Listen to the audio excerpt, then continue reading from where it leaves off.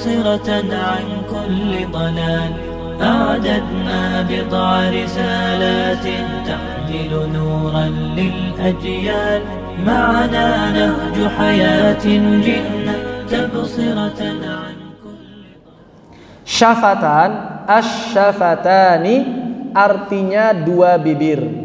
Namun di sini terbagi menjadi dua. Makhraj bibir itu terbagi menjadi dua. Ada yang melibatkan dua bibir, ada yang melibatkan satu bibir saja. Yang melibatkan satu bibir saja adalah huruf fa. Bagian dalam bibir bertemu dengan ujung gigi seri atas wa min batni syafah falfa ma'a thanayal musyrifah ada yang melibatkan dua bibir sekaligus yakni waw ba dan mim. Lebih jelasnya dapat bisa kita lihat di gambar berikut. Ini adalah huruf fa. Wa mim syafah dan dari batennya bibir baten itu perut atau juga bisa dimaknai bagian dalam. Di mana batan itu bagian dalamnya? Berarti di sini nih bibir yang basah bibir itu kan ada yang basah ada yang kering nah yang basah itulah huruf fa diucapkan dengan apa ma'at rafis sanayal musyrifah dengan gigi seri yang musyrifah musyrifah artinya apa musyrifah artinya apa mulia dengan gigi seri yang mulia. Mana gigi seri yang mulia? Emang ada gigi seri yang mulia, ada gigi seri yang hina? Itu kiasan. Maksudnya gigi seri yang atas, yang mulia itu. Begitu, ya, itu kiasan. Jadi thanayal musyrifah maksudnya gigi seri yang atas. Disentuhkan sambil terjadi gesekan hembusan udara. F fa fi fu f orang Indonesia harusnya bisa mengucapkan huruf ini. Kenapa? Karena dalam bahasa Indonesia ada dua huruf yang suaranya begini. Huruf F dan huruf V atau V. Ya kan? E, orang Sunda hati-hati ya. Siapa bilang orang Sunda gak bisa bilang F? Fitnah itu. Ya. Biasanya begitu. Dan memang ada sebagian e, saya dulu pernah apa mengajar tahsin dia dari Sunda ya dari daerah gitu ya dari daerah mengucapkan fa-nya itu bukan dari F bukan dari gigi seri tapi dari bibir atas dengan bibir bawah. Fa gitu. Fa. Enggak sempurna. Dan bukan F itu. Mungkin karena terbiasa P P gitu ya. Akhirnya mengucapkan F jadi F. Coba tempelin dulu giginya. Oh, ucapkan. Fa kayak gitu. Iya itu saya mengalami sendiri ngajar yang seperti itu. Ini mesti dilatih. Afa mesti dilatih. Tapi jangan mentang-mentang lagi latihan F, giliran nyebut P aja jadi F juga gitu ya. Misalnya mau nyebut apa? Mau ke mana? Mau ke Fondok Aren gitu ya. Mentang-mentang lagi latihan F. Mau ke Depok gitu ya.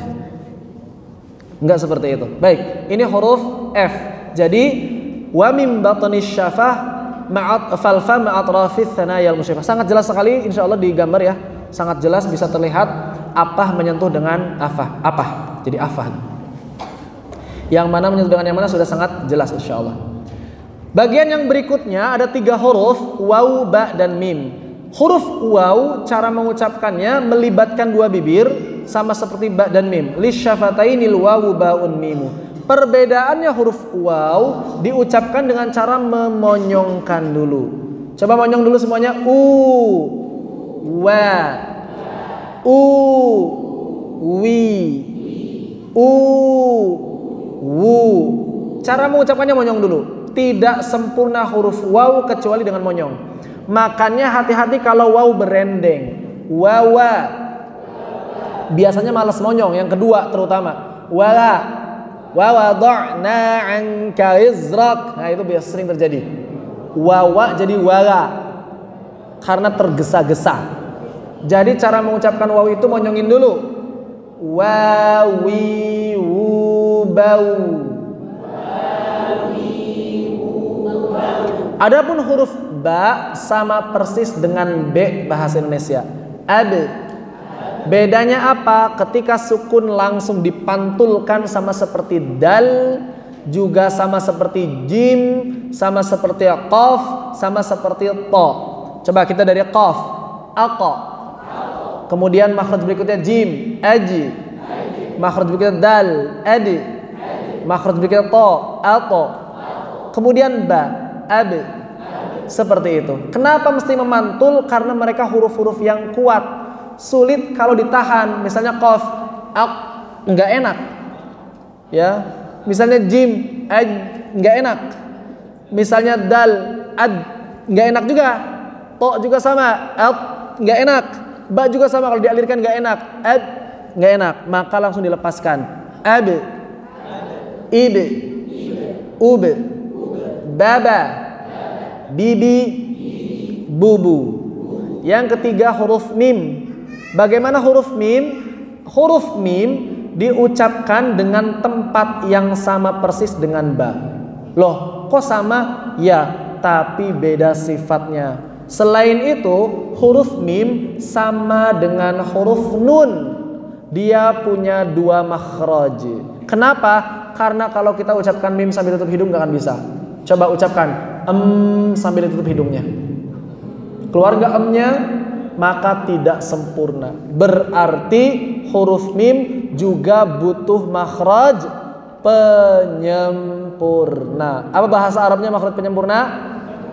Mukammil. Siapa makhraj mukammilnya? Khayshum.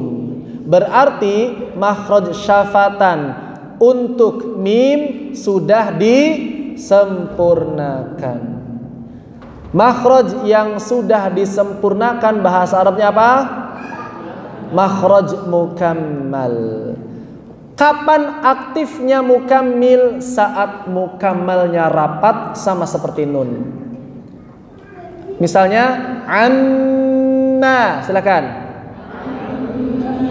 Adapun ketika makhraj mukammalnya terbuka, mukammal mal ngalnya itu sudah bukan dari khayshum lagi. Ar-Rahman, silakan. Ar-Rahman. Tidak dibaca Ar-Rahman, tidak dibaca begitu. Ya, Ar-Rah emnya ke hidung. Ar-Rah em nya dari jauh lagi. Emnya ke hidung, em nya dari jauh lagi. Ar-Rahmanir Rahim. Ini huruf mim bagian terakhir dari syafatan. Makhraj umum yang terakhir apa? Khayshum dan khayshum sudah kita bahas tadi. Khayshum itu makhraj mukammil saja. Makhraj mukammil saja khayshum itu ya. Siapa yang punya makhraj khayshum? Huruf nun dan mim. Kapan aktifnya makhraj khayshum? saat makhraj mukammalnya rapat. Ketika makhraj mukammalnya terbuka, maka makhraj khayshum tidak aktif lagi dan kemudian suara akan mengalir begitu ya. Dan karena huruf mim serta nun mengeluarkan suara yang keluar dari rongga hidung, maka mereka disebut juga huruf gunnah wa ghunnatun makhrajuhal khaysyumu. Memangnya gunnah itu apa? Gunnah itu artinya adalah suara yang berasal dari rongga hidung. Bahasa Indonesianya dengung atau sengau. Itulah gunnah. Itulah yang disebut dengan gunnah. Jadi makhraj khaysyum hanya aktif ketika mukammalnya rapat ketika mukamalnya terbuka maka makhraj khayshum tidak aktif.